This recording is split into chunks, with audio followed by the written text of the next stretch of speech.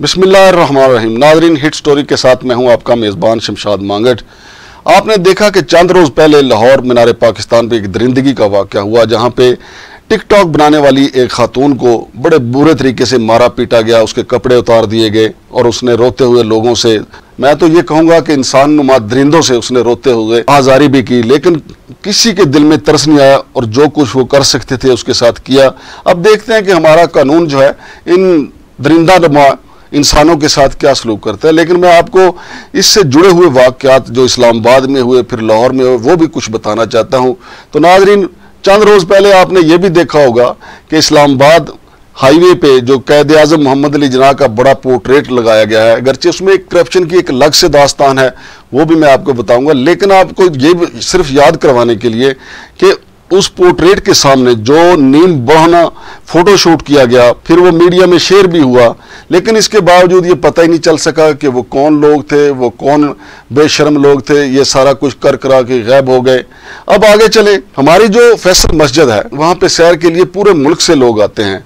वहाँ पे नमाजें भी पढ़ी जाती हैं, वहाँ पे सब कुछ इस्लाम के मुताबिक किया जाता है, लेकिन आपके लिए ये हैरानगी होगी, वहाँ पे कई ड्रामों के सीन, फ़िल्म बंद किए गए और कई शॉर्ट फ़िल्में भी बनाई गई और कई नोब्याता जोड़ों ने इंतहाई बेशरमाना अंदाज में अपनी वहाँ तस्वीर भी बनाई, जो सारी सोशल मीडिया पे मौजूद होंगी। सवाल ये पैदा होता है कि यही लोग टिकटॉकर फ़िल्में बनाने वाले जब मुकदस जगहों को मुकदस हस्तियों को पामाल करते हैं तो हमारे कानून के रखवाले कहाँ सो जाते हैं? क्यों एक्शन नहीं लेते? चलें हो सकता है कैद आज़म का जो पोर्ट्रेट हाईवे पे लगा हुआ है उसके पास उस वक्त सिक्योरिटी गार्ड या कोई दूसरे लोग मौजूद ना हो तो बरना शूटिंग कर, करने वाले करके अपनी वारदात डाल के चले गए हों। हालाँकि ऐसा नहीं है वहाँ पे हर वक्त जो है सिक्योरिटी एहलकार मौजूद होते हैं और मुझे पूरा यकीन है कि बरहना शूट करने वालों ने सिक्योरिटी गार्डों को पैसे दिए होंगे और वो कैद आज़म की जो नोट के ऊपर तस्वीर लगी हुई देखकर शर्मसार होकर मुँह झुकाए बैठे रहे होंगे उनको रोका नहीं होगा। वो बजाय उस तस्वीर का तहफ़ करने के जो हाईवे पे लगी हुई है, जो उनकी मुट्ठी में कैद आज़म की तस्वीर वाला नोट था, उसको देखते रहे होंगे। इसलिए आप उनको शक की बना पे छोड़ ही दें, क्योंकि उन्होंने चले, अपने घर की दाल रोटी बनाई और निकल गए पूरे पाकिस्तान का अब कल्चर ये है।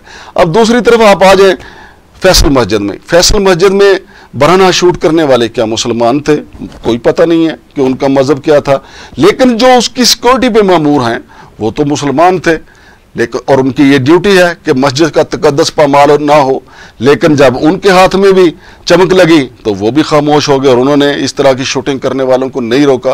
आप फिर आगे चले जाएँ। फैसल शाही मस्जिद में क्या क्या होता है? वहाँ भी ऐसे मनाजर फ़िल्म बंद भी किए गए और उसके बाद कई ड्रामों की पिक्चराइजेशन हुई, कई फ़िल्मों की पिक्चराइजेशन हुई, जिसे अवाम ने पसंद नहीं किया, ऐसा नहीं होना चाहिए। मगर हैरान कन बात यह है कि जो मीनार पाकिस्तान के साय के नीचे हुआ, मीनार पाकिस्तान एक हमारी यादगार है।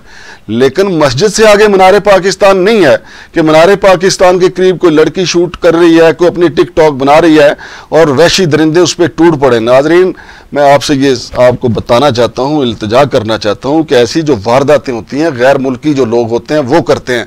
यकीन उस, लड़की पे हमला करने से पहले किसी बेगैरत ने किसी घटिया इंसान ने ऐसा फिक्रा बोला होगा जिसके बाद जाहल बेवकूफ़ वाम उस लड़की पे टूट पड़ी और उसको दरिंदों की तरह नोच डाला। और इसके अलावा आपको मैं एक और खौफनाक बात बताऊँ और आप इस पर गौर भी कीजिएगा। आप यकीन ये भी कहेंगे इल्ज़ाम भी देंगे कि मैं हर ऐसी हरकत के पीछे राह का खुरा तलाश करना शुरू कर देता हूँ। आप दूसरी तरफ़ आए, लाहौर में जो एक और बड़ी वारदात हुई, जहाँ पर रंजीत सिंह को घोड़े से गिरा कर उसका घोड़ा भी गिरा दिया गया। और गिराने वाला कौन था? बाहिर मुसलमान था। और बल्कि इनका, इन कैमरा, उसकी बॉडी का पूरा जायजा ले हो सकता है उसकी रस्म गुलतराशी भी ना हुई हो और वो अगियार के लिए काम कर रहा हो। ये तो हमारे सिक्योरिटी इदारों का काम था कि ये जाने कि ये बगैर शख्स कौन था। क्योंकि पाकिस्तान ने हिंदुस्तान में बसने वाले सिख सरदारों के साथ बेहतरीन तल्लुकात कायम किए हैं। और इंडिया की हुकूमत मोदी जो है, वो अब तक इसको बर्दाश्त नहीं कर पा रही। चूँकि जब इंडियन पंजाब से पाकिस्तान के हक में नारा लगता है, इमरान खान के हक में नारा लगता है तो मोदी उठ के फ़ौरन वाशरूम की तरफ़ भागता है। ये सच है, ये हकीकत है। तो जितना दर्द मोदी और उसके करिंदों को करतारपुरा राहदारी से हुआ है, उनको अपने इस इकतदार में इतना दर्द नहीं हुआ। करतारपुरा राहदारी के बाद अगर उनको दर्द हुआ है या वो सोग में गए हैं तो वो तालिबान की फतह है। अब ये देखें कि जिनके साथ हमने दोस्ती बनाई, जिनके को हमने राहदारी बना के दी, जिनके लिए हमने करतारपुरा को सजाया, बेहतरीन किया और उनको दिली, मजहबी तौर पर उनको तस्कीन पहुंचाई। इधर एक हमारे बेगैरत शख्स ने रंजीत सिंह के मुजस्मे को नीचे गिरा दिया और घोड़े को भी तोड़ फोड़ कर दी। अब मैं आप सबसे एक और क्वेश्चन भी करता हूँ कि अगर वो बाहर वो जो शख्स आपको नज़र आ रहा है, वो मुल्ला जो है बाहिर वो जो मुल्ला जो है, जो आपको नज़र आ रहा है तो उसको कहें कि ज़रा इस्लामाबाद में आए नेशनल कौमी असम्बली के म्यूज़ियम में जाएँ, वहाँ पे मौलाना फजल रहमान के वालद मोहतरम का मुजस्मा, फिर उसके अलावा शाम नूरानी का मुजस्मा, फिर जुल्फ़कार अली भुट्टो का मुजस्मा, ये मुजस्मे वहाँ इसलिए लगा कर रखे गए हैं कि उन्होंने पाकिस्तान का मुतफिका आइन जो है, वो मंजूर करवाया था और कादियानियों को काफिर करार दिया गया था। तो हम सब जो है उन मुजस्मों को, उनकी तारीखी खिदमत के इवज देखते हैं। तो रंजीत सिंह जो है, पंजाब का एक जीता जागता करदार है, हीरो है पंजाब का। क्योंकि रंजीत सिंह ने पंजाब में बड़ी स्ट्रगल की थी।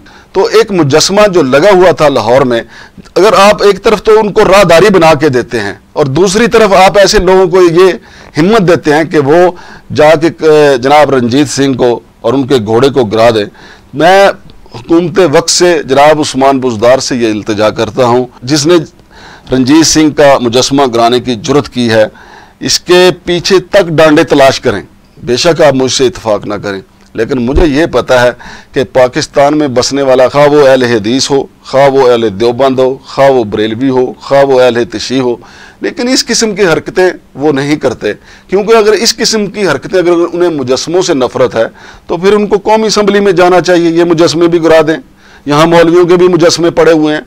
तो मैं कोशिश करूँगा कि वो मुजस्मे भी आपको दिखाऊँ। लिहाजा हमारे इदारों का ये फ़र्ज़ बनता है कि कौम को बताएँ कि ये ये जो बाहिर मुल्ला जो वहाँ पे गया लाहौर में और उसने वो गुराई हैं तो उसका असल जो है, उसका असल कनेक्शन कहाँ से था?